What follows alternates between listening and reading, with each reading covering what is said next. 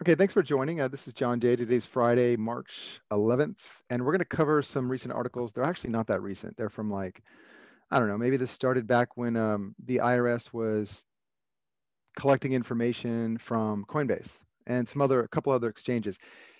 And so I'm going to give you my theories on this, and we're going to talk about some articles I had published right about that time about letters that were sent out, those 10,000 letters where it was like, um, I think it was form letter 6172 and 6174, if I remember correctly. And they've got some other form letter, form numbers. I didn't know that uh, there were some other ones, but I just want to go over that. So um, if you can see here, I'm showing you, well, let's go over here. I'm going to go look over here. So here we go. So I just, um, you know, this came up a, a few times and you can see, this came up a few times this week for some reason, but this article is from 2016. This is before I believe that IRS defined cryptos as property.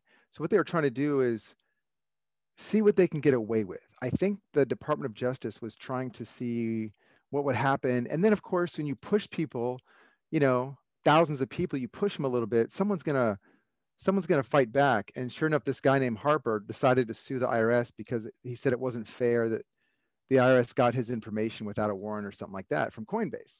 And so they're trying to use this third party rule, the IRS is, the Department of Justice is doing this to try to create, I think they're trying to create some case law to say, it's cool. We can, we can take whatever information we want anytime we want, and you can't do anything about it. And I think it's cool this guy tried to do something about it. but at the same time, I mean, this came up in 2018, I believe. And everybody was asking me, John, what happened now? They have this, I got this form letter. It says that they have information that I might be trading in cryptos and all this stuff. And I said, ignore that letter. There is no information about you trading in cryptos. All they're trying to do is trick you into responding. So this guy got tricked and he sued him.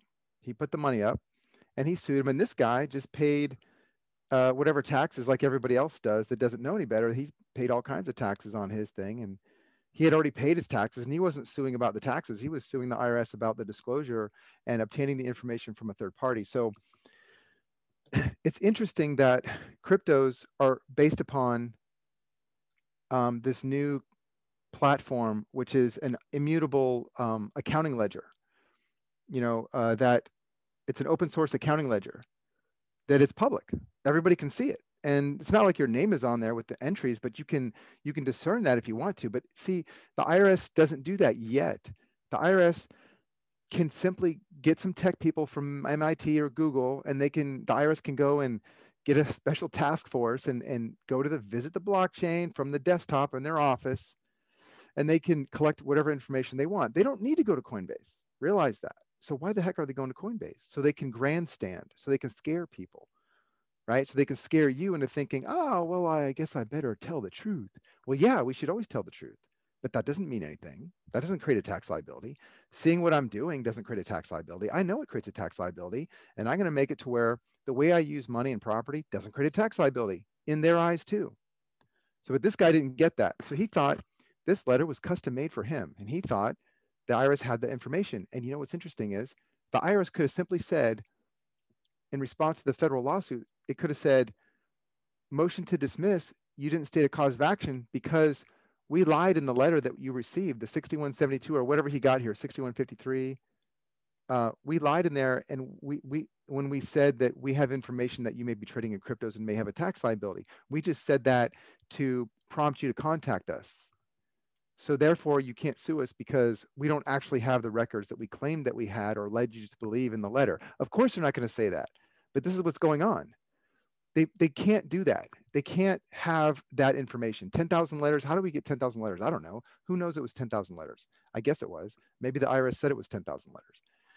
So anyways, he sues and he says, hey, it's not fair. Third party doctrine doesn't apply here. I, I still have rights to privacy. No, maybe you don't.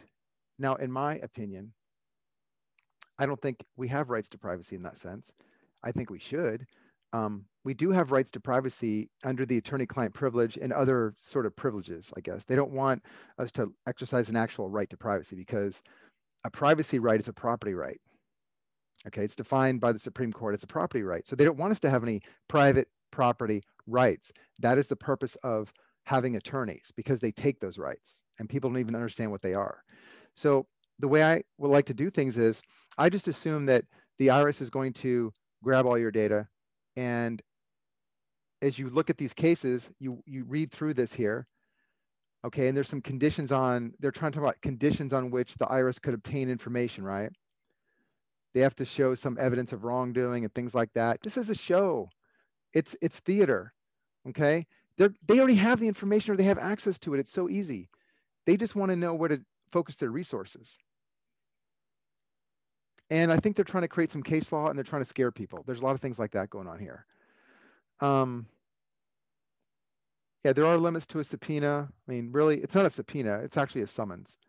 The, the summons is under the same rule as a subpoena, really, but the summons is under uh, the Federal Rules of Civil Procedure, uh, Rule 27. If you guys want to check that out, it's quite interesting. They never cite the rule because they don't want they don't want anybody to know what that is. So then you would know the limitations. it's Rule 27. But anyways, this is all they're doing is trying to scare people. So they do have other remedies. The IRS can go to the blockchain silently. They probably already do. They probably have access to all kinds of databases. They could probably get people's crypto data from their phones most of the time without going through the legal process. But they don't want to do that or they don't want to make that the focus. They want this to be the focus. They want old school 1970s style audit uh, uh from the IRS type thing to go on. And so Harper's playing into that. He doesn't know any better though. He doesn't know. So let's go over here. This one was, and this one was, you know, last year. So the lawsuit is trying to get privacy for crypto users. I'll just tell you that it's it's gone. They're they're not gonna. The trend is to have no privacy. So here's what I do. From the beginning, since the 90s, I always assume that my client has no privacy. And I try like hell to get privacy, the most I can possibly get for the client. And so sometimes I, I need to use public records to establish that there's no claim that can be made against my client for any civil liability. And so where I cannot get privacy or I can use public records to to discourage investigations or litigation, that's what I'm going to do, because the risk I'm trying to avoid is like cost of litigation and, and just dealing with the issue, right? so this is let me give you guys an example. so let's say I, I, signed a promissory note and I lent somebody $100,000. Let's say I lent a business $100,000. And so now I'm the lender and I'm going to get payments and the interest rate is like 6% or something like that.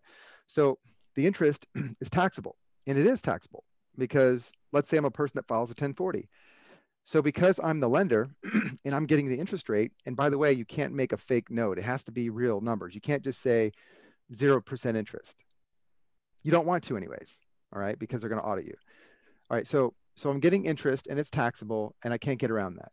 And everybody can see it if they want to. The IRS can summon the records and whatever. So there's a third party and all this stuff. I'm not really going to get some sort of privacy on that because it, it's all discoverable. But if I add in as a lender, my brother or my friend or my partner, uh, someone other than my spouse. So that way it's two disinterested people, two individuals with it, with different beneficial interest. If I make those two people, so myself and my brother or my sister, right? I make the each of us the lender on the note. And so now together we are getting the 6%. And together, let's just say we have a bank account and we're signing on the account and neither of us would have the rights to withdraw the funds. That's our agreement. That's our arrangement. So that would mean that there's no tax liability forever as long as he and I or she and I are the note holders or lenders receiving the taxable that would otherwise be taxable interest payments. So when someday comes that one of us wants to take some money out, then we have possibly a tax liability and something to report. Forget 1099s and all that. I'm not talking about that. I'm just saying, uh, by the IRS standards, if individually receive a gain, I'm going to have a tax liability. The IRS wants a piece of it. Whether or not they see it, I'm just going to agree that it's subject to taxation. But until then, it's not. So let's say my brother and I make the a bunch of money. Let's say we double our money in a year or whatever. So now we got two hundred thousand dollars, and together we go buy another asset. Let's say we buy a you know a, a real estate investment, or we buy a car or something. I don't know if we're both the owner, the protection, let's call it, carries over to the ownership of that next thing because he and I are not a taxpayer. We don't file a tax return. If we did, and we're not required to, by the way, just because we receive money doesn't mean we have to file a tax return. This is different than people who filed a 1040 because you know, if if you unless you're out of that system, I mean, even I'm out of the system, but if I got a 1099, the IRS would say, "Hey, where have you been?" You know, so I'm very careful not to get a 1099, so I don't create that obligation, if you will. I don't have to deal with that. But if my brother and I did things together, and we use our SSN, uh, but we do everything in our names together collectively, there would not be a tax liability for the the two of us because there never was. And if we filed a tax return together and claimed a liability, well, then the IRS would say, thank you very much, and then go from there. And then the IRS would then have a duty to reconcile that account every year. And from that moment, when we filed that tax return, it would probably be a partnership. Uh, whatever tax treatment that is, whatever the rate is, whatever, that's what would happen. And then the next year, if he and I are still doing things like that, we would have a subsequent liability until we told the IRS with um, something like we would have to dissolve the partnership. We would have to tell them we did that, or maybe we'd have to register with the state and dissolve it. There's all kinds of ways of doing this. So if I share my property rights with a group or a partner where the members of the group, my brother and I, don't have a joint liability to anybody, and this goes for anything. This goes for like if he's getting sued, my brother's getting sued, right, for like 15 creditors and a bunch of money, right?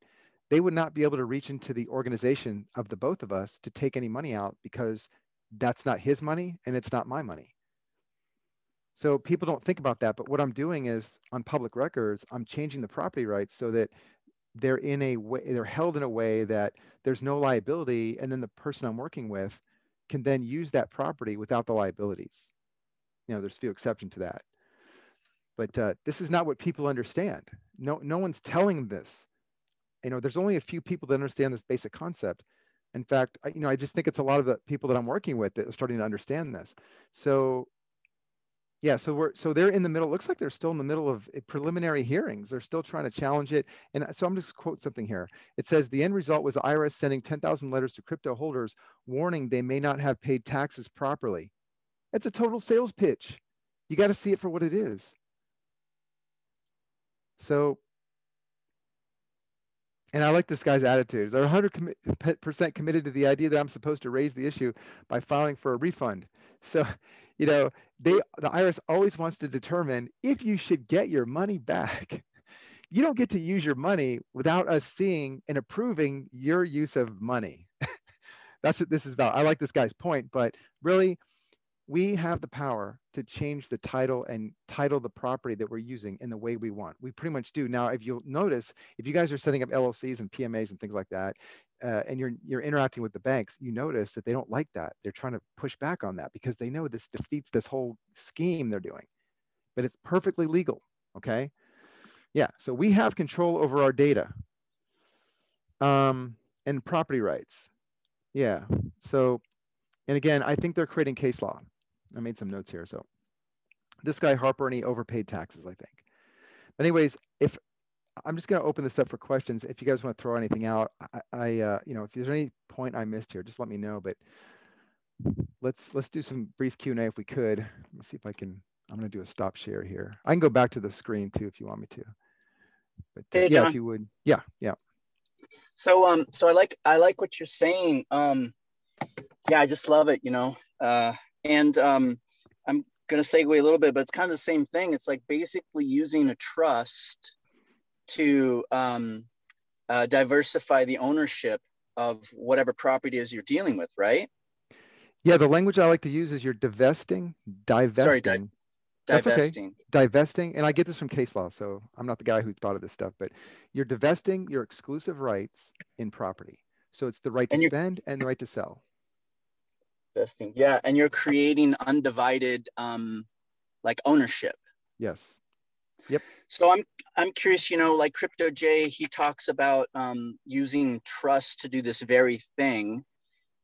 I know you use llcs and mm-hmm. um and so he basically said you know trusts don't have to report but when i go in and i try to do the research on this and the actual code I mean, it's such gobbledygook. I have a hard time understanding it, but I know that it's, yeah. I, I, know that it's in there um, because it's in there on a lot of other kinds of these code scams, like, like you know driving basically under vehicle code means that you're engaged in commerce so um how do i like really get in there and find you know the okay. reality the reality yeah, of with the tax code this is the hard thing the tax it's not going to it's not going to tell you what i'm telling you it's like it, it's excluded they don't have to tell you this stuff and that's why the code survived all the constitutional challenges because after the Civil War, they tried to bring in the tax code and a central bank, and they couldn't do it. They kept they brought in a version of it,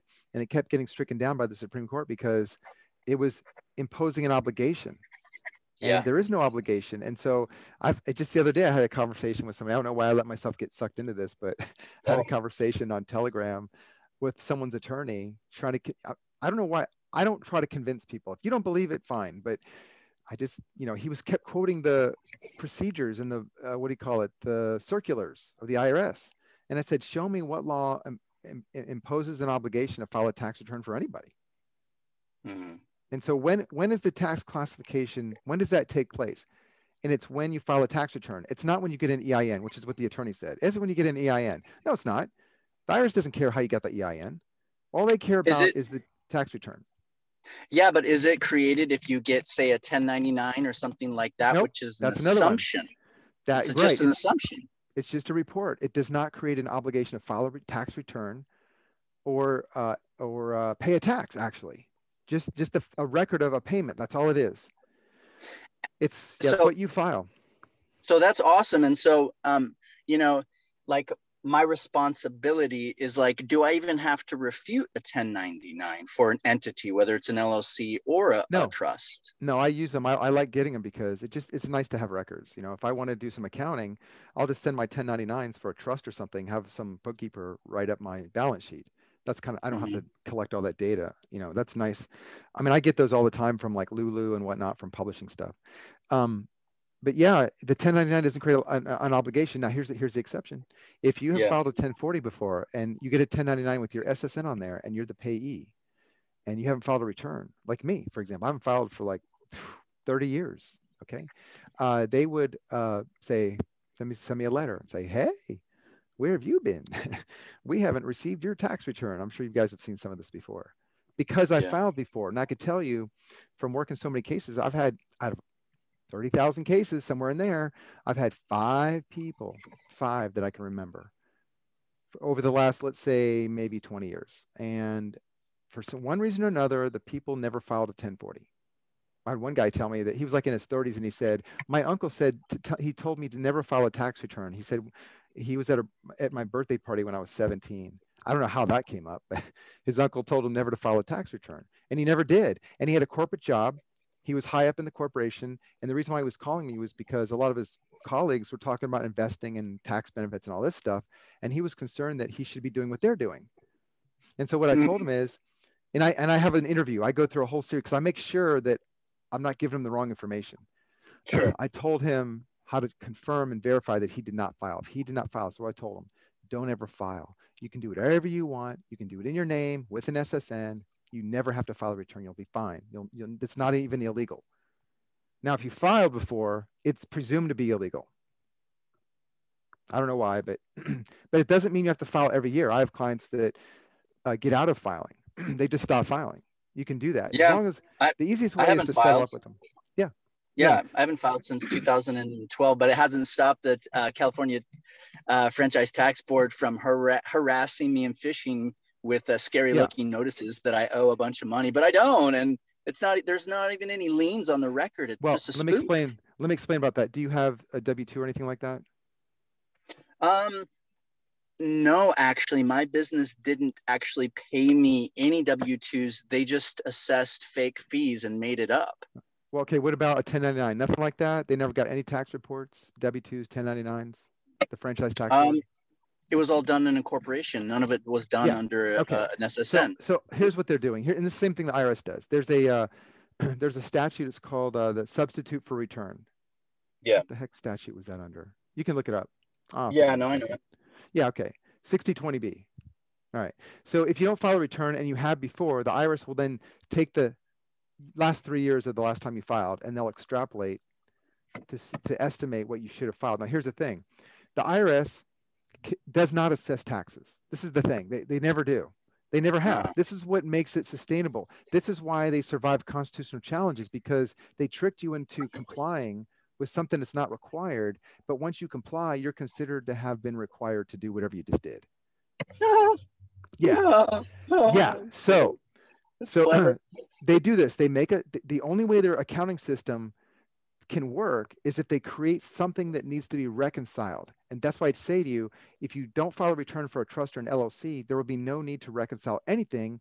And even if the IRS were to look at that, yeah, if you get the top IRS person, the, the, the a person who's actually competent, right? And he looks at what you did and he, and he sees, okay, I see 1.5 million dollars coming into an LLC, and Yeah. that came from an investment of a half a million dollars. And so what the IRS agent will say is, that is unsettled funds, and I don't care.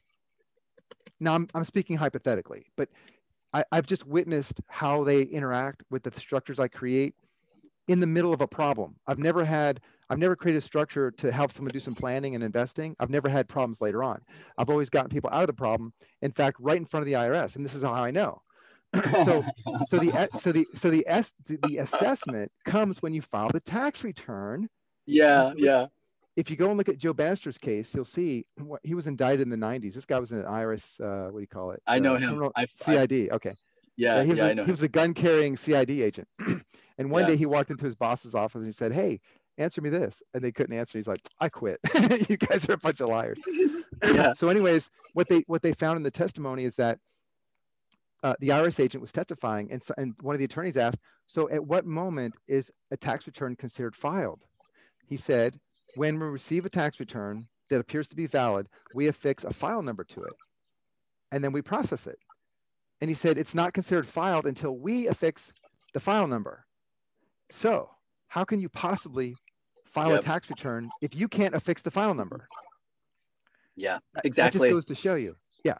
I, I love it. And this doesn't matter. It's like like I have a um I have a trust that has a a, a foreign EIN because it was created in Canada. So it doesn't really matter. Like Nope, doesn't matter. Doesn't No. doesn't matter where the EIN has been created. And I think the EIN, um, you know, f- uh, if it's a foreign trust, um, I think that's determined by the treaty that the United States has Yeah. with.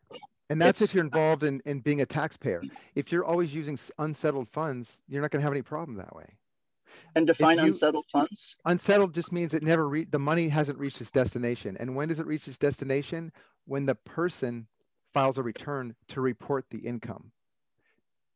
That's and it. that's the case. Yeah, and totally. And that Yeah. that makes sense with um, a, trust, no matter where the EIN is. Yeah, and I know you guys have probably heard this before, but I'll just tell you the story just quickly. And and I, i'm sorry I cannot cite the case. Maybe I shouldn't tell you if I can't cite the case, but this was in the. I'll look it up. of- Uh, I don't even remember. the- I have to go look. It's in one of my older older books. Um, I'll, I'll look it up. But basically, maybe you can find this. Okay, so this was in the 80s, and it was an older couple that had retired, and they stopped filing. Why? Because their CPA said, "You guys don't make enough money. You don't have to file." Which was my parents did the same thing. They stopped filing too, and, and so that was standard stuff. well, the IRS agents didn't like that. So they sent a letter saying, hey, where are your tax returns? And they wrote a letter back and their CPA wrote a letter back and said, um, we're not required to file. We didn't make enough money. We just retired. We can only have social security. This is back when I think they did not tax social security. so uh, the IRS determined that they really wanted them to file a tax return. So they filed a substitute for return and that created a tax liability. That started the Mhm. process. Okay. And that take, takes a couple of years. And uh, they ended up with a lien, a levy, lien levy. And so the IRS levied their bank accounts and took out $8,000. So, or they took out a portion of it. And so what happened was, here's, here's how you have to sue the IRS, if you don't know. You have to get permission to sue the IRS. And here's how you get permission. In that case, Wow. they went to an attorney and the attorney said, okay, we have to file a claim for refund on form 843 and we have to file your tax returns. You just have to do it that way. And you have to pay the difference that they still say you owe. And then when they deny the 843 claim for refund, you then have the right to sue them in the US District Court, which they did. So during the proceeding, the DOJ advised the judge, they're supposed to do this. The DOJ advised the judge that the, the couple wasn't required to file tax returns in the first place. This was after probably days of a trial, okay? And so the judge says, hold on a second, what? What? You're, you went through all this mess and, and you're telling me now that they weren't required to file. I thought everybody was required to file. Why weren't they required to file? You never believe what she said. She said they weren't required to file Wow. because they, they didn't file. Wow. Wow. I mean, almost every time I try to verify that, I get verification of everything I'm looking at. And, and keep in mind, I've when I first started doing this in the 90s and the early 2000s, I would fly out to people's houses and I would stay there for a couple couple of days, three days, and I would prepare Yeah. all their documents. And a lot of these people were tax protesters in the traditional sense, and um, Yeah. yeah, and so I would get them out of the audit situation by simply uh, creating records that give the IRS the same data they already had to make it look like I gave them whatever they wanted, but I didn't. Mhm. They didn't get anything new, and then they were just Mm-hmm. left with a bill, and then I would, you know, walk my client back from that situation. So, anyways, you know, that's that. I mean, that this whole thing is a scam, but I don't even like to. That's not even something to rely on. I mean, that just is nice to know that stuff. So, look, let's assume that you have to file a return, and let's just Yeah. create a situation where you don't have a gain in their eyes by their own standards. And that's why I can get the IRS to agree that my trades between cryptos and the increase in value is not taxable because of the way I say it in my letter. By the way, I just finished my series for the inner circle, so you'll see that come up pretty soon. We're going to publish that. I'm going to give you guys the letter. I'm going to show you how this works. So, That's awesome. So you basically just volunteer the information that you want them to see and understand that shows there's a zero and obligation with whatever you do with the crypto with the entity. yes. So, talking about the right to privacy, I can organize That's my beautiful. affairs.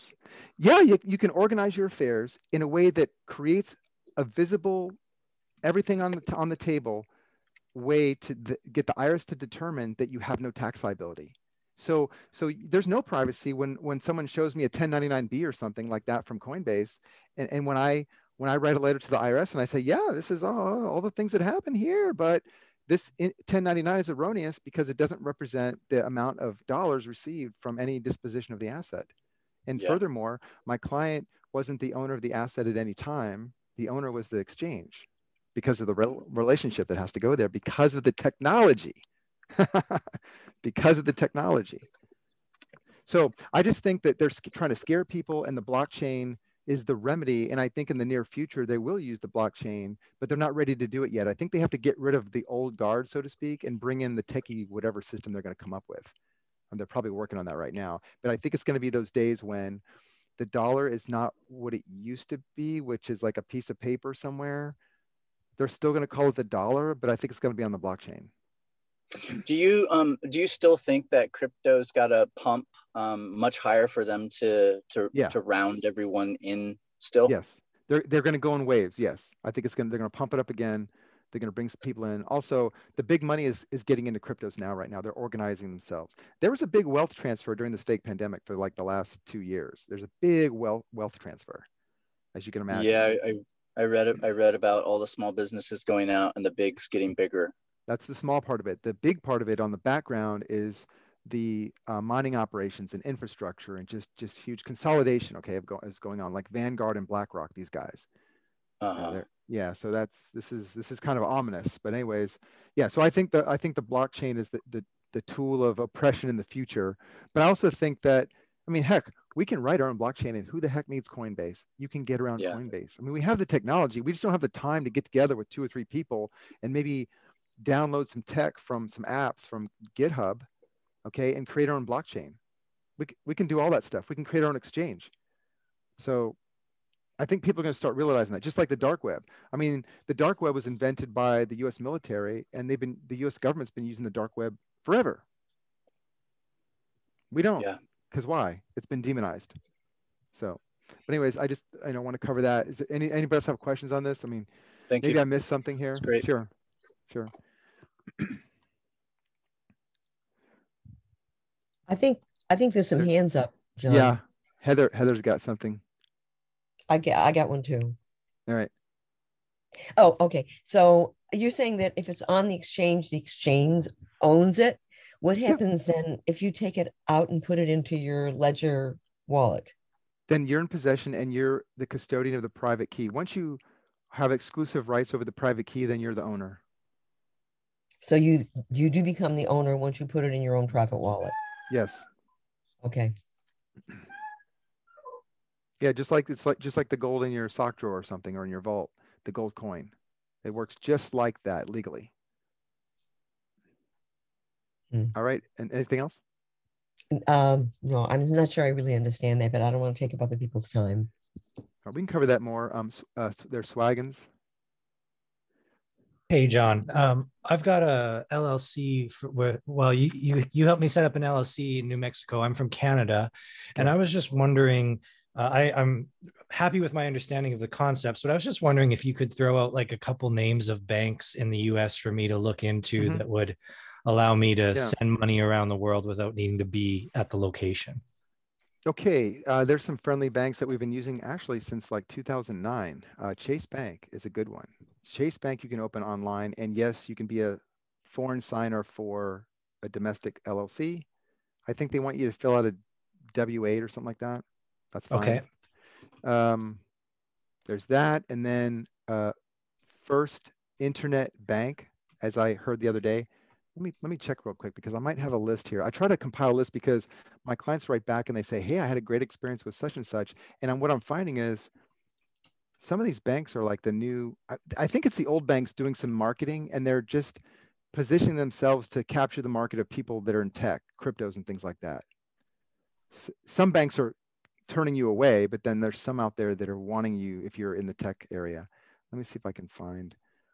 I have my uh, read me first file here, so I can find something. But yeah, first internet bank and and also you can US US Bank is one, Chase Bank in the states, uh, First Internet Bank. Um, here's one called Fundera. F-U-N-D-E-R-A dot com. And they have business checking. So free business checking actually.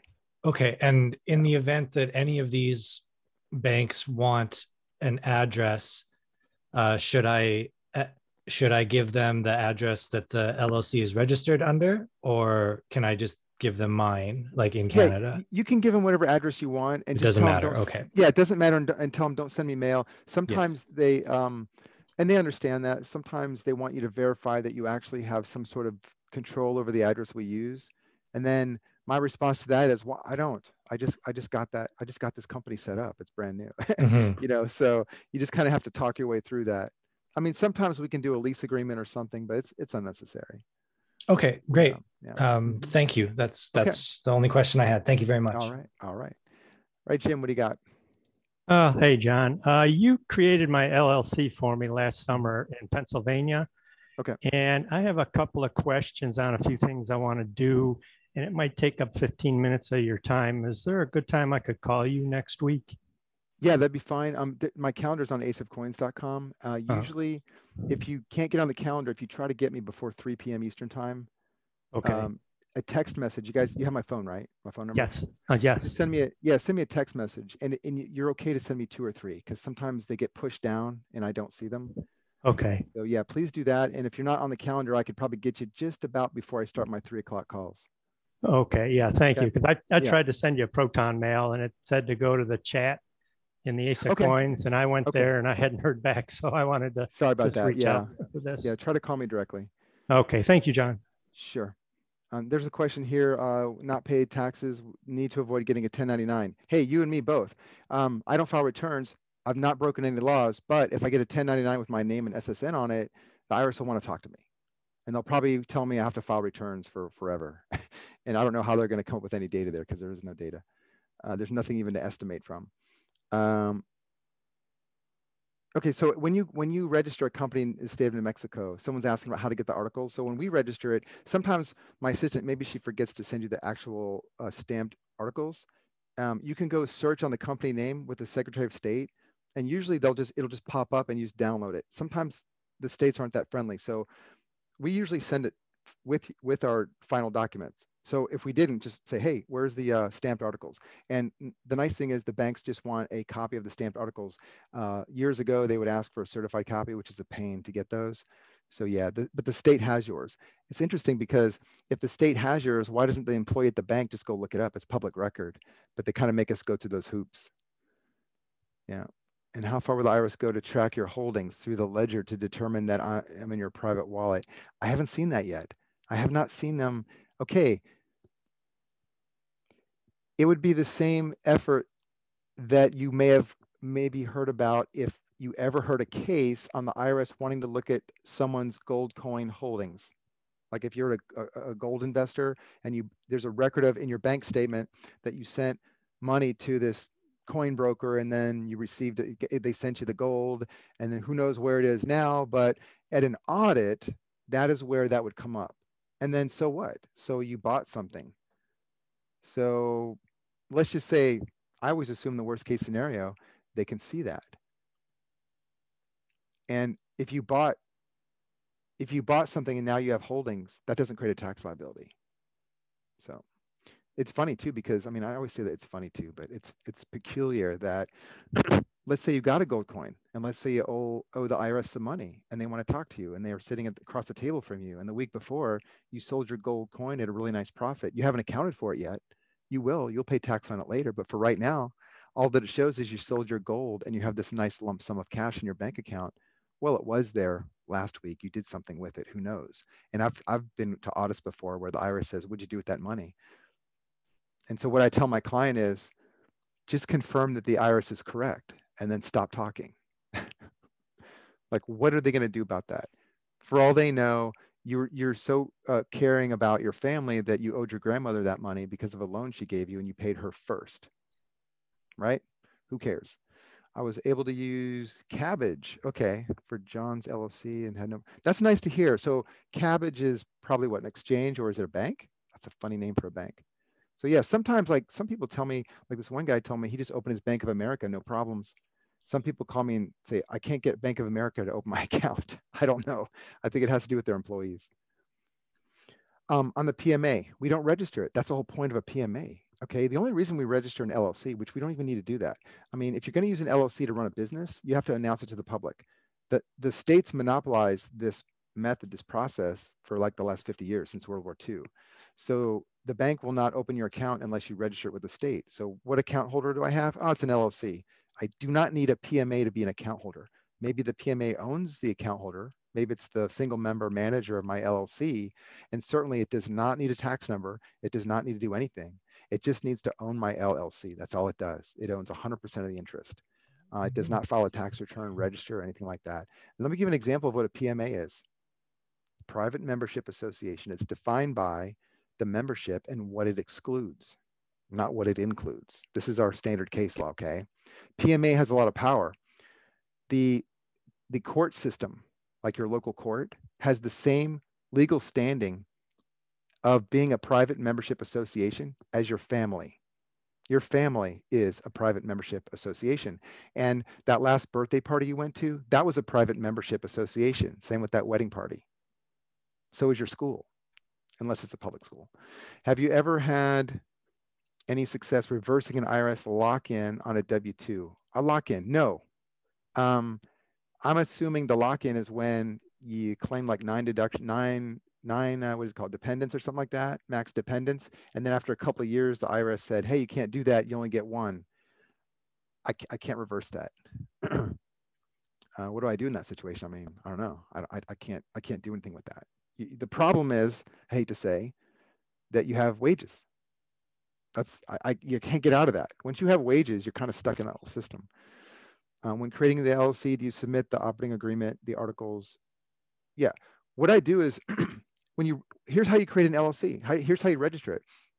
You just go to the Secretary of State and you fill out their intake form on the internet. That's how we do it today. I mean, it used to be on paper, but all you're really doing is declaring in the public, because the state will publish this, the name, the owner, the address, if it's perpetual or not, uh, the relationship and indemnification of the owners. Okay, basically is what you're doing. what you're paying for is the filing fee. So if you register an LLC in the state of New Mexico, you're going to pay $50. And so here's what you're paying for. You're paying a tax for indemnification. This is the whole beauty of the whole thing because this is how our railroad system got built. If it wasn't for this type of situation, we wouldn't have been able to build up our railroad system so easily. Um, and not that it was that easy, but the state is indemnifying you. The state is saying, hey, everybody, anybody who wants to make a claim against this newly registered company can't do it as long as the people in that company are following the rules, meaning you're not going to use the company for any illegal purpose. We got their back. We're going to give you charging order protection. We're going to give you whatever indemnification goes along with this type of structure. And that's what creates things. That's what creates investments and things like that. So that's your that's what your $50 is for. Indemnification. yeah, we don't we don't give them the operating agreement because that can change every day. But the articles announced to the public are what make it binding on the world. Binding meaning that everybody has to take it at face value. That's why I explain just get your account open if the bank's giving you a hard time about how you structured the ownership in the company tell them whatever you want because the articles are what count not what you submitted on your ein application not what you told the bank none, none of that matters um, i just sent all my info first internet bank okay they're they're all online okay interesting I uh, just got a call. That's nice to know. Okay, so you just you, you, use First Internet Bank. Okay, that's nice to hear that. I wouldn't recommend opening an account with the PMA. I, I would not recommend making the PMA the account holder. I would recommend using your LLC as a account holder because I think the LLC is better suited to deal with the world because you got all kinds of legal protections with an LLC. You have a huge amount of legal protections with a PMA. We can get into that. There's a whole school on that. But uh, I would not open a PMA account. It's kind of exposing it to everything. Because I mean, I don't know if you guys ever read Title 12 of the uh, Code of Federal Regulations, the banking regs. It takes up this whole back wall here, by the way. So who wants that? you know, I would not put my PMA in that. Um, all right, so if you buy a truck with a business loan from an LLC you created, do you list the PMA as the owner of your actual name? You, you could buy the truck however you want. You know, get the PMA should be in the background. My daughter just bought a car the other day. She bought it with financing too, and she um, it was actually easier to get financing and buy the car the way she did uh, using her LLC always always use an LLC. I like Jay's trust for this, by the way. I like his trust organizations as a quick uh, quick solution to owning title to a car. And the PMA is the best thing to do. Why? Okay, well, the best, I think, the best method is to have a, an LLC that expresses what I described earlier, where it's my brother and myself that are the joint owners of property. That is not enough today because of the way the bank software works. So that's why we use the LLC because now we have a statutory framework and we're going to get certain benefits and indemnification. Whereas if we just did it individually, they might be able to pierce that. But if I use an LLC, perfect. If I use a PMA, what could happen is the protections my LLC would give me would go away, but the PMA has certain protections but what could happen is somebody could challenge the relationship of the property rights with a PMA. But with an LLC, it's taken at face value and the courts will uphold it without a question, unless you're drug dealing or something like that. That is why, yeah, good, okay. You did open as LLC. That's why, why I use an LLC. Uh, and I see you got lots of hands up. I'm gonna get to those in a second. Are the banks running a personal credit check? Yes, they always do. Here's what the banks do. First of all, they check with your, your number that you're using for your credit. With most people, it's SSN, they check what's called the death index to make sure that you're not using someone else's SSN and make sure that that SSN is not currently assigned to someone who's recently deceased. That sounds weird, but no one ever talks about that. The next thing the banks do is they, they run a check on a credit reporting service, much like Equifax, called ChexSystems, C-H-E-X Systems. ChexSystems is regulated under the Fair Credit Reporting Act, and that keeps data regarding like, let's say if you owe five bucks to your other bank for a fee or something and you never paid it, the new bank won't open your account until you pay the other bank. It's like their buddy system. But yeah, that's pretty much all they do. They check to make sure you have a credit file. They make sure that number is not assigned to a dead person. And then they check your check system to see if you owe to other banks. And then maybe it depends on maybe it's a credit union. Maybe they'll check and check your credit score because sometimes the banks use your account to I think they all do this. I think they all rec- regard your account as a loan to you, even though you're bringing the money. If you bring a thousand dollar deposit or a hundred thousand dollars, the banks account for that as if they lent you that money. So that's why they want you to have good credit because when they go to their, you know, third parties or whatever, I guess you call them relenders or something, uh, they want to be able to rate that paper. That's what's going on. Yeah, personal credit, opening account. Yeah, they are. Um, okay, so how do you get around that? Okay, so maybe that you're not going to get around as the signer. So what you want to do is have your LLC be the account holder. And yeah, they're still going to run a check maybe, but it's not so prominent because your LLC is the account holder. If you want more attention and more assessment based upon the LLC, if you really want to do this, which I've not seen a need to do this unless you're actually going to need business credit, you can set up a Dun Bradstreet file. It takes like a few months. Uh, it doesn't cost much to do this. It just takes time and some paperwork basically, but you can set up a, a Dun and Bradstreet credit file and that just involves some net 30 accounts. All right, so let me check here. All right, let's see, we got uh, Heather's iPad. Is it alive? Heather's iPad? Yes. All right. Oops. Okay. Uh, so um, my questions are real beginner, so I don't want to like um, consolidate any time and take away from the rest Okay, of the group or anything. But um, so um, we were watching. This is my roommate, and uh, Greg is retired. He receives um, Social Security benefits. So sorry, I'm trying to include him in here. Um, Okay. So um, you know he wants to keep those and everything. So we would need to um, keep him hidden, you know, right? And, and everything that we're doing. Um, as far as um, like, here's something. First of all, we watched the real estate video the other day, and I Mhm. reached out to Mr. Tycoon because Oh, we're okay. interested in doing that. Mhm. Also, I'm following along with what you're saying by and large, but I'm missing li- little hunks and pieces, and I'll come back to that because I wanted to ask you if you thought we should watch all the videos and then uh, reach out for a consultation or It doesn't matter. okay No, whatever, whatever you feel like doing. because we've watched a lot of videos Okay. we, all we, right. we put in some True. we put in some effort All Yeah, right. you- Great. That makes it easier when we have a conversation. So A lot of your videos. well Okay, well all right. and just even the one with mr tycoon i had to rewind it and watch a couple parts of it over and over and over again mm, like the subject to and, the, and warranty deeds and all that stuff. And Mhm. so I'm, and uh, anyways, aside from the point. So, um, so as far as like any investments that, um, or any gains or whatever, we need to hide all of that.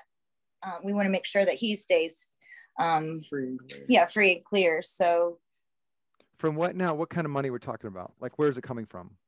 he, Uh, he receives social security benefits.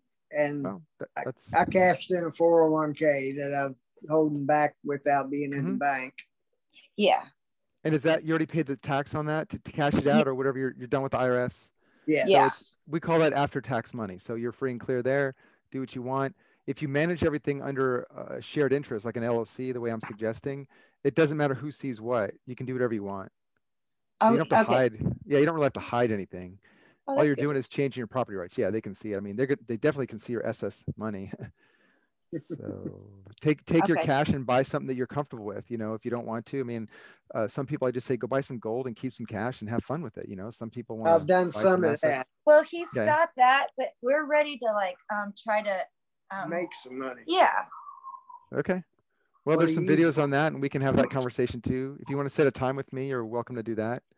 Okay. So yeah, if remember I was saying last time, if you're if you're members, okay, of anything, if you called me or and paid for consultation or something, you're welcome to schedule with me and just not pay for that call. So you just use the coupon code, just so you know. Okay. What's the Yeah. coupon? code? What The is coupon code is free C O N two zero two two. I just asked that it's only for people that have already paid something, anything. Well, sure. video. That's Yeah, yeah, yeah. I don't want to take advantage of, you know, I don't want you to think that we're trying to take advantage. So No, it's okay. I if I have time, I'll and be glad to. guidance and all that stuff. So yeah, Sure. I just wanted to make sure we're doing it the right way and because we need some help. Definitely, it always helps one-on-one. It's just hard to get me, but certainly I look forward to talking with you. Mhm. okay. Cool. Thank you. Thank you. All right. All right. So we'll go to Demetra. Hi, John. How are you? Hey, guys? hey. Thank you. All right. Um, so I've got a couple of uh, like one, two, three, bam, and quick stuff I want to get. First of all, uh, are only the U.S. exchanges generating 1099s? Do you know? Anything in the States would do a 1099. Some like are still not. but, coin or a Bitrue out of the country, we don't have to worry about that. Uh, they will do a 1099 where there's, it's considered a U.S. account holder. That's all. So I do have, we do have to check if we've traded in those accounts as well to Yeah, see if they your- generated. Yeah, they should. I think they're required by law to send you by email. And a lot of these uh, companies have software that uh, uh, has an inbox, I think, like an email inbox when you sign onto your account. If Yeah. they sent you a 1099, it will be an email. So Okay. check for that. Yeah. So then, once you download all of your 1099s from the various exchanges and you find that they're pretty accurate, then do you just go ahead and submit them to, to, you know, April Yeah. 15th? Uh, Yeah, if, if they're accurate, I mean, if, if that dollar amount that's stated on there, if you actually Yeah. got that in your hand, then What if accurate. they're, they're not? What if there's a discrepancy? Then do- what do you do? Because they've already reported to the IRS. Is it in a personal account or LLC or Per- Right now, personal for, for my Okay. question, yeah, my line of question. personal and you got a 1099 and the dollar amount does not match what you actually received, then Mhm. you have to get it corrected. And this is why I'm, I did that video, that series, to, Yeah. to teach everyone how to ask the IRS to agree that it should be excluded from your 1040. Okay, what if I never far. took any, any USD? Everything that is just Right. basically. That's why we can ask them to agree with us. If you took the dollars, then to that extent, we can't get them to agree. So like if you actually took some dollars out, we have to back that out of the request we send into the IRS. Gotcha. Okay, so there is further, once I check everything. Okay, so um, number two, I wanted to know, remember, if you remember a couple of weeks ago, we talked, and I Mhm. took my primary residence, my condominium, took it out of trust, a bank trust that I had it. I turned it into an LLC. I turned the ownership over to the LLC. I went and recorded with the county clerk's office. Mhm. Um, so now, because I put it in the LLC that we originally opened for crypto investment and real estate, Mhm. perfect. Now, do I need another one for cryptos? No, cryptos are, are quite liquid. So that's why Mhm. the risk is low. You can always move those around. You can put those right into a private ledger. Now, if it's real estate, that's a bit different. So your house mixed with a real estate investment is probably a no-no for Okay. at least the short, well, not the short term, but the long term. Like if it's over a year, maybe not. If you have a lot of things going on, like people trying to collect money and things like that, I wouldn't lump them together. What you could do though is if you want to use your LLC for multiple purposes, like here's an example. So if I have a, a house and a car, if I it's my house I live in and it's my car that I drive, and maybe I want to protect the title. And by the way, vehicles low risk, houses you live in higher risk. So one or the other. You can take your LLC that has maybe a crypto account, and you can make it the owner of your house. And if you want to use that same LLC to protect your car, you would just file a lien on the car with the LLC as the lien holder. If you want to do it the other way around, you can put a lien on your house and have the LLC own the car while it still has a crypto account. That would be okay. But for right now, the only thing in the LLC that I've opened is because I haven't cashed in any cryptos or anything. I'm still sitting on those. Those are in cold storage. Mm-hmm. But is it okay that my condominium is now in the LLC? It's owned by the LLC. That's fine. Is that where you live? Yes. Yeah, that's fine. That's okay. Yep. Okay. With, with that, I remember you saying, I had taken notes from a while back that you said it is best, let me quote you, it's ideal to have a second member owner named in your mm-hmm. LLC. So when is it beneficial? Because this is a PMA and I've now finally understood, got wrapped my brain around what you mean. I don't have to disclose who's in the PMA because people come and go in my PMA. That's right. PMA is its own entity, and as long as you don't apply any percentage of ownership to any one of the PMA associates, right? They can't tax you, correct? Or take money out, right? There, there is there never will be a tax on the PMA. It's only going to be when it disperses funds to some person that where it reaches its final destination. Uh, one, one solo individual of the PMA of the right. It doesn't matter who is if he's part of the PMA or not. If the funds leave the PMA and go somewhere to a taxpayer, someone who files a tax return, that is going to have to be accounted for. That's the So in other words, you're simple- always buying and selling at, with the LLC as the owner, buyer, seller. Okay, so you're using only that bank account, right? Well, I can I can do an I can have several accounts for one LLC. I can also take that money from that LLC and set up a whole new LLC, Mhm. different bank account. I can move money from company to company. Okay, so with the, with my condo being owned by an LLC whose ownership belongs to the PMA, what's the challenge there? What's where can they come That's after me? Not, not. That's a nice, clean way to do it. Either a, a dual membership or a PMA owner. That's perfect. Either So way. are those comparable? A, a dual membership, like you said, uh, so versus a PMA? Here's the difference. My LLC either way is going to be an innocent party, meaning that it's away from my, it's out of my estate. There's no one that would have a claim against me and be able to take property from my LLC. That's what I mean by innocent party. So the owner of it either gives me charging order protection, meaning that the court will protect it, or it doesn't give me that. So if it doesn't give me that, and I, am using a, probably a PMA as a single member owner, that PMA is an innocent party because it only does one thing. It owns the LLC. No one's ever going to sue that LLC. But if you owned it, it no one's ever going to sue the PMA. If you owned it individually, there's a lot of people that could probably sue you. You probably do lots of things in this world. You know, you probably have all kinds of contracts you never even thought about before. But the PMA does nothing except own the company. Okay, so, so when when we're labeling it as a single member uh, single member LLC. The single member is a member is a collective mm-hmm. group of people that are just not being identified. Sure, or, or they are. It doesn't matter. But right. the single member owner in name creates a single member LLC with no charging order protection. But that doesn't matter because you don't need it because it's an innocent party. It's completely outside of anybody's legal right to sue because it does nothing. Okay. Okay, gotcha. And then I think those are the immediate questions. So then um, we talked about uh, on the last call. Uh, it was brought up about the only way to avoid filing taxes are to get your name, to get, uh, if you're not on a W 2, for the 1099s to be um, attributed to an LLC, correct? That That's, helps, yes. Make it payable okay, that, to a pass through entity, yes. Okay, so if I'm working as an independent contractor, and right now they have my social security number because that's the only thing I have. Um, I would open up an LLC. Would you be able to do the a next call or two showing us like how um, what kind of LLC could you get to transition out of your personal social security number into um, an what is it EIN I believe right from from an LLC so that you're oh. you then you never I think I discussed that last time. Um, one second here about how to get out of. I think I did a call on that.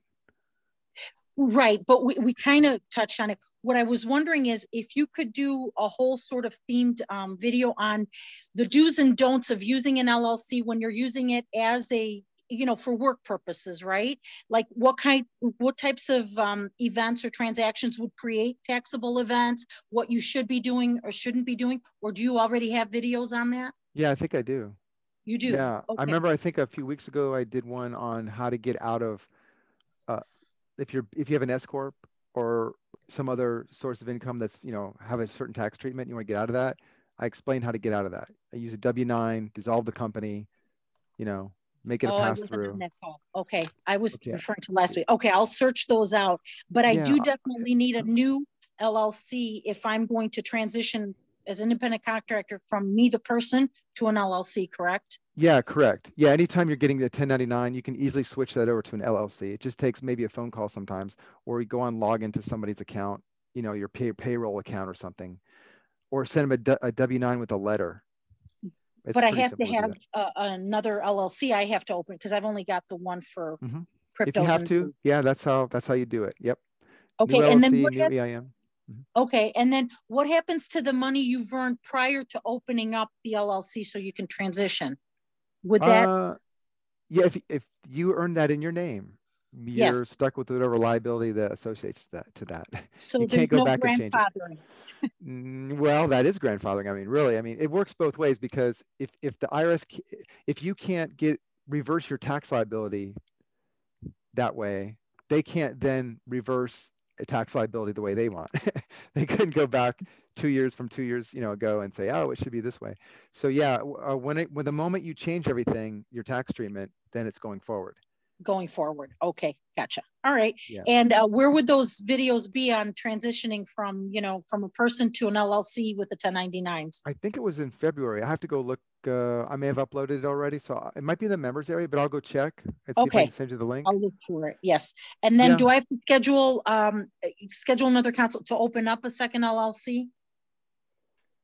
Uh, you can or can, you can do the order form and just put a note on there that this is the second one and by the way guys i don't charge more money for another one i just collect the filing fee for you so it's part of the same okay. deal unless you have some big project going on so eh, on yeah. ace of coins right john yeah right exactly yeah you okay. can just do that right Okay, thank you. All right. right. sure thing. All right, and then someone's asking, uh, you said one time, yeah, okay, so if you want to buy real estate uh, and you have cryptos and you want to turn those into dollars or put them in escrow in some way, maybe the down payment or something, or just pay cash for a house, you can do that. I have a service that does that. It's with my partner. He set up ex- an exchange to do this. It's a private exchange. You'll never even see it anywhere. But um, if you have an LLC where you're able to sell your coins into the name of an LLC, that's a cheaper way to go because there's a there's a commission that goes on that transaction. So I would just recommend using your LLC to do that unless you have some sort of limitation there. All right, and then what would I describe the money I use from LLC Bang It to my 10 in my 1040 MICS description line, miscellaneous. It's other income. If you take money out of your LLC that's th- from a pass through and you, you want to have to report it on your 1040, like let's say you pay your credit card bill or something, it's other income. You don't need a 1099 for that. Uh, is the same in setting up a bank account in the name of the trust? Yes, it's the same. You just have, it's just a different way to do it. The trust is compatible with the way we use an LLC. I need to set up a trust account so that I can deposit money that would otherwise be subject to garnishment. Exactly. Uh, the trust is a third party, it's an innocent party. And yes, that would avoid a bank garnishment, but it will not avoid a wage garnishment at the source. So if your employer is paying the money out, if the creditor tries to take it only from your bank account, you're covered. If he tries to take it from the employer, you're not covered unless you're in North Carolina, South Carolina, Texas, or Pennsylvania. All right, or unless there's some exemption, like Florida has exemptions. So there's other things too. I mean, if you have a wage garnishment, it's important to you. We can actually create a lien that blocks wage garnishments. That's a different subject. All right, so I can raise your hand. And I don't know where the icon is to raise your hand. I think you waited so long that maybe you already figured that out. that, all right. Uh, so if the if the crypto exchanges are reverting you to their software, and no 10 items furnished, there's no record. Are we assuming they know nothing of it? Okay, so if you don't see a 1099 from the exchange, none was issued. You, you have to get one. They're not going to make a mistake. I it's all automated. Now, if you're not sure, and again, this is what I did cover the other day. If you're not sure, if you, there's a 1099 posted to your, here's some technical language.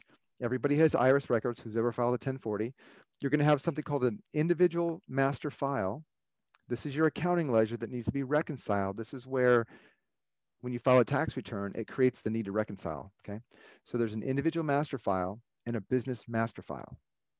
And you would use form, IRS form 4506-T. You can Google this on the internet and look at the top right corner. Make sure there's an OMB number on there. I don't know what the number is. It's 1545 something. So that's the official government form. And in the middle of that, you put your name and information, your SSN, all that stuff. And then you check the boxes as to which transcripts you want. And you'll see in there, it'll make sense. It's self-explanatory. You'll want your 1099s and everything. This is another way to check and see what the IRS knows about you if you're not sure if something was reported. But yeah, the exchanges are supposed to tell you, they're supposed to give you a copy of the 1099. All right, and okay. Where do I find the inner circle? Okay, so the inner circle is about to appear. I was talking to uh, my partner today, and it should it should be showing up quickly. Well, let's say this month. Okay, we're gonna, probably gonna do a live Q and A on that. It's gonna be it's gonna be really cool. Right, the exchanges are trying to get people to volunteer and contract with the IRS when it was not required. Right. If you didn't exchange crypto back to FRNs, Oh, they oh, maybe. bark up a tree. Yeah, yeah, that's interesting. I mean, I don't know if they're trying to create a contract, but they're they're trying to induce you to do what they want you to do. So once you know what your rights are and know the law and how you're you know, how what creates the liability, you you it's pretty easy. It's just very easy. That's why I'm not intimidated by all this stuff. I mean, it's just sales pitch. What was coupon code? Okay, so I will give you the I'll give you the coupon code. So if you've already you know paid for service, joined the membership or anything like that, consultation or ordered a company, um, the coupon code to schedule a call with me is going to be free C O N 2022. All right. All right. Have to have the name. Yeah, you don't have to have your LLC in the same state. I know a lot of attorneys try to get you to do that. You can have the LLC where it makes sense for you to do that. I mean, I I base it on a state that doesn't doesn't send me lots of notices. I would stay away from California, uh, New York. New York kind of like is like an anchor, you know. It just kind of sticks you sometimes because of the, the crypto world. But yeah, choose a state that makes sense. I mean, I'm in Florida. Florida's actually a pretty friendly state, in my opinion, to set up a company. I, I've set up many over here. My daughter has one over here. So yeah, try to get your waiver. That's right. The rules different for a brokerage account. You know, it's not. The rules, I mean, no, the rules are not, I mean, brokers accounts maybe have SEC type rules, but bank accounts have FinCEN rules, Financial Crimes Network. They're about, they're very similar. Um, you have the same KYC. That's like an overlay on top of everything. So if you can do something at a bank account, you can pretty much do it at the exchange trade account, like for stock trading. Uh, yeah, so I'll check and see. I'll follow up. So, all right, yeah, um, I, I, am. I'm going to be, um, you know, hiking the Appalachian Trail, but I believe it or not, I will be available. I will have my phone with me. That's crazy, but that just means that sometimes it's not as easy to get me. If it's if it's easy at all, if I should say that. All right, so here is um, KY Prus. Did I say that right? Hey, hey, John, it's Kai. Hey, Kai. Um, hey, hey, uh, uh, I've got a quick question for you. You we've spoken a couple times since October, and uh, we decided our strategy was to create a holding company in Canada, in Ontario. So I was creating a holding company here. Uh, I go ahead and do that, and then you're going to send me the uh, the the changes to the incorporation so yes. that it right. Um, I made the corporation last week, and I immediately got a, a um, email saying that I had to do an initial return, and I was immediately leery of that because I think that the goal is to not do any returns at all. Uh, I looked in the, into the um, act, the Ontario Corporations Act, and it says every corporation other than extra provincial corporation or a corporation of a class exempted by the regulations shall file with the minister an, initial return. So I, I just wondering what I mean. Should we should I change strategies and use a different like because there's other ways we can incorporate, or should I right. just stay with? There it? are other ways to do this. Uh, this is new territory for me. I'm not sure, but uh, notice how what they're doing there. Once they once you file a return, you create a tax classification. This is right. the same thing in the states. So I would just suggest to you that you not file a return because here's an example. Let's say you set up the company, and then you convey your mom's house title that she lives in. She's the only one that lives there, and you, she conveys it to the company for estate planning purposes to take it out of her estate. And, and, it's for your benefit, maybe you and your brother's benefit. And she doesn't file a tax return. Why? Because it doesn't do anything. It just holds the title of the real estate. There's no tax on there or anything. So I know that you can do that.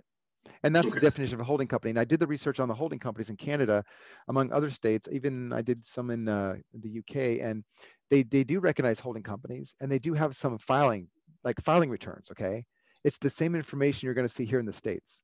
Now, I, have never seen a, a, law or statute in the states saying what you just said for Canadians. Right. So, and that's probably a law. I'm, I'm guessing. Here, what we have is um, website commentary or circulars. Uh, so I would just not file and see what happens. And I would be curious if you know if you get something a notice or something, if you would please let me see that. Yeah, they, they give 60 days from mm-hmm. from the from creating the uh, corporation, and all they say is uh, uh, comply with requirements and avoid compliant compliance action that may result in cancellation of the corporation. But again, this may it, it's they're not they don't say what kind of corporations are exempt other than that one example. So you know. Yeah, and I'll give you an example. So in Kentucky and Oregon, I've noticed uh, when we do a, an LLC there in those states, we'll get a letter from the uh, the tax people, the Department of Revenue for the state, because they, they work together, right? So they'll send a letter and say, We're we not bombing Ukrainians. We haven't right. received your uh, tax Ukrainians return. are bombing Ukrainians. All right. Sorry about that. Uh, you can you can unmute if you want to.